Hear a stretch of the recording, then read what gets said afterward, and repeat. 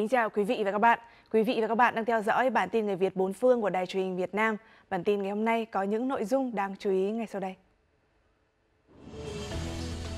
Bà con kiều bào ở các nước châu Âu từng có dịp đi thăm Trường Sa và nhà giàn JG1 cùng hội tụ tại Pháp tổ chức các sự kiện ôn lại những kỷ niệm về biển đảo quê hương.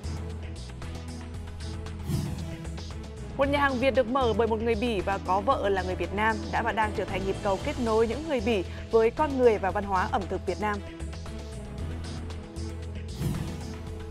Cùng gặp gỡ với người khởi xướng phong trào nghìn việc tốt cách đây 60 năm, phong trào đã trở thành vườn ươm, nhân trí đức tài cho các em thiếu nhi trở thành những công dân tốt, góp phần xây dựng quê hương đất nước.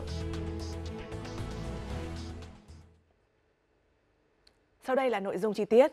Với những ai đã từng có cơ hội đến Trường Sa, trở về luôn có một tình cảm đặc biệt đối với vùng biển đảo thiêng liêng của Tổ quốc. Với những bà con xa quê hương lâu năm, lại càng có những ấn tượng sâu đậm. Ngày 11 tháng 6, bà con kiều bào các nước châu Âu từng có dịp đi thăm Trường Sa và nhà giàn JK1 đã tổ chức buổi gặp mặt để ôn lại những kỷ niệm của họ về biển đảo Việt Nam. Buổi gặp mặt được tổ chức trong khuôn khổ các hoạt động hướng về Trường Sa ở thủ đô Paris của Pháp. Với chủ đề băng khoăng Trường Sa, buổi giao lưu là sáng kiến của Ban liên lạc người Việt tại châu Âu vì biển đảo Việt Nam. Các kiều bào tuy đến từ nhiều nước khác nhau nhưng lại cùng chung tâm trạng xúc động bồi hồi khi nhắc đến Trường Sa, xem lại những thước phim về vùng biển thân thương này của Tổ quốc và nhắc lại những kỷ niệm của chuyến đi. Nhân dịp này, các câu lạc bộ yêu biển đảo Việt Nam của các nước đã thông báo những hoạt động đã và đang và sẽ làm để ủng hộ quân và dân huyện đảo Trường Sa.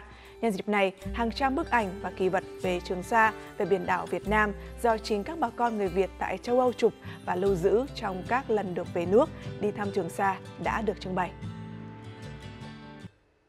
Trong lịch trình các chuyến công tác thăm quần đảo Trường Sa, hầu như bao giờ cũng có một địa điểm được trông đợi nhất, chính là nhà giàn JK1, nằm ở vùng thềm lục địa phía nam của đất nước. Nhưng điều kiện thời tiết không phải bao giờ cũng thuận lợi, nên không dễ dàng để có thể lên được nhà giàn. Hãy cùng theo chân một đoàn công tác trải nghiệm hành trình đặc biệt này.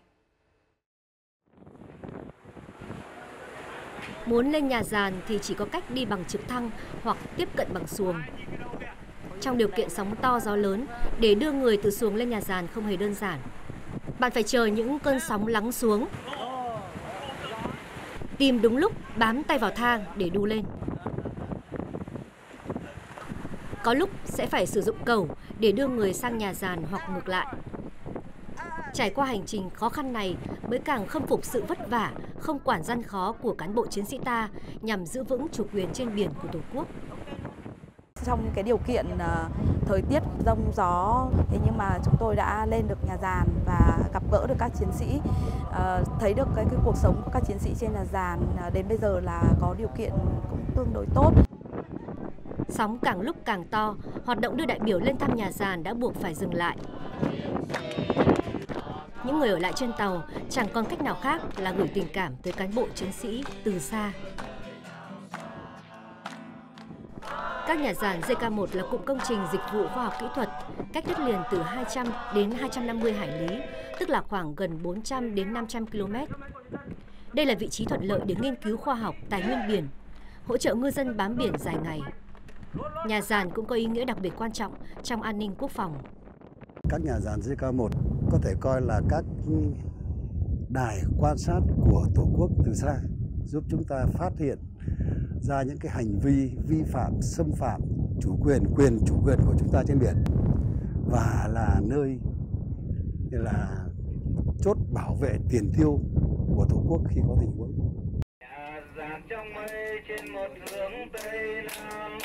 Đôi khi những cuộc gặp gỡ giữa nhà giàn và tàu diễn ra như thế này, qua bộ đàm.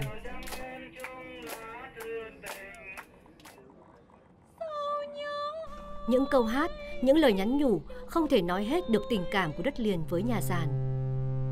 Đã đến lúc chia tay. Chúc nhà giàn khỏe! Người trở về thầm mong và tin tưởng những người lính sẽ vượt qua khó khăn khắc nghiệt, giữ vững tay súng, bảo vệ sự bình yên của vùng biển quê hương. Ngày 10 tháng 6, tại Học viện Nhật ngữ GAG, Tổng lãnh sự quán Việt Nam tại Fukuoka và Hội người Việt Nam tại Fukuoka, Nhật Bản đã chính thức khai giảng lớp học tiếng Việt của em với sự tham gia của 30 cháu là con em người Việt. Số lượng người Việt Nam tại khu vực Tây Nam Nhật Bản là khoảng hơn 50.000 người và có chiều hướng tăng do chính sách thu hút nguồn lao động từ nước ngoài của chính phủ Nhật Bản. Theo số liệu thống kê năm 2022, hiện nay số trẻ em từ 0 đến 15 tuổi được sinh ra tại khu vực tỉnh Fukuoka có hơn 1.000 cháu. Các em sẽ theo học tại các trường học của Nhật từ mầm non, tiểu học và sử dụng tiếng Nhật để học tập, sinh hoạt là chính, nên cơ hội sử dụng tiếng Việt hầu như rất ít, dẫn đến việc mai một tiếng Việt và không hiểu về văn hóa Việt Nam.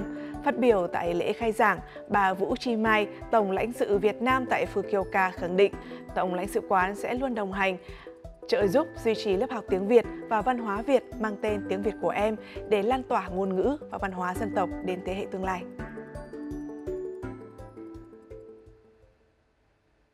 Thành phố du lịch biển Ostend của Bỉ có dân số 70.000 người, nhưng hiện chỉ có 5 người Bỉ gốc Việt đang sinh sống. Bởi vậy, không nhiều người Mỹ ở Ostend biết đến người Việt cũng như văn hóa Việt. Một nhà hàng Việt được mở bởi một người Bỉ có vợ là người Việt Nam cách đây 2 năm đã và đang trở thành nhịp cầu kết nối những người Bỉ với con người và văn hóa ẩm thực Việt Nam. Hôm nay chúng tôi muốn mời quý vị cùng nhóm phóng viên thường trú của Đài truyền hình Việt Nam trải nghiệm với cảm xúc của những người Bỉ khi được thưởng thức các món ăn Việt ở Ostend. Phở, nem, cà phê phin, bánh mì kẹp thịt và nhiều đồ ăn truyền thống của Việt Nam đang trở thành những món ăn yêu thích với người dân ở thành phố du lịch biển Ostend của Bỉ từ hai năm nay. Với Gonan Klex, mỗi khi được thưởng thức cà phê Việt Nam là ông lại hồi tưởng về những trải nghiệm khó quên khi thăm Hà Nội. Tôi từng đến Hà Nội và rất mê cà phê trứng. Về Bỉ, tôi luôn uống cà phê phin Việt Nam. Với tôi, uống và ăn ở tại nhà hàng này giống như được trở lại Hà Nội. Nó mang lại những kỷ niệm đẹp. Đó là lý do tôi đến đây. Mở cửa sau đại dịch, nhà hàng của vợ chồng anh Pôn và chị Mai đã giúp những người bản địa không phải đi hàng vài trăm km, thậm chí phải đến Việt Nam mới được ăn món Việt. Đầu tiên là phải chiên trong dầu ở 170 độ trong khoảng 10 phút khi nem có màu nâu nhạt. Như vậy là đạt 70%. Đến khi khách yêu cầu thì tôi cho vào nồi chiên không dầu 10 phút nữa cho chín vàng và ăn rất giòn.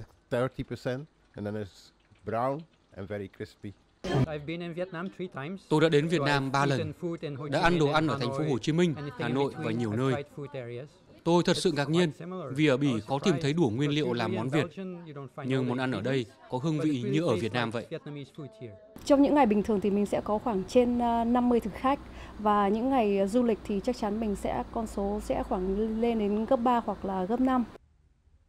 Nhà hàng Việt của anh Pôn và chị Mai không chỉ được những người Bỉ từng đến Việt Nam chào đón. Nhiều người châu Á làm việc trong chính quyền của vùng cũng tích cực lan tỏa sức hấp dẫn của món Việt với bạn bè và đồng nghiệp. Đây là nhà hàng Việt đầu tiên ở vùng Tây Flanders của Bỉ. Người Ostend rất hào hứng khi tôi chia sẻ thông tin trên Facebook và blog của mình. Họ đã đến đây ăn và kể lại niềm vui này cho người thân. Yêu thích ẩm thực Việt Nam nên các món ăn Việt được những người Bỉ như anh Paul tìm hiểu và chế biến với hương vị chẳng khác như khi ăn ở Việt Nam. Những người Bỉ ở Ostend giờ đây chưa cần đến Việt Nam, song vẫn có cơ hội thưởng thức phần nào tinh hoa của ẩm thực Việt.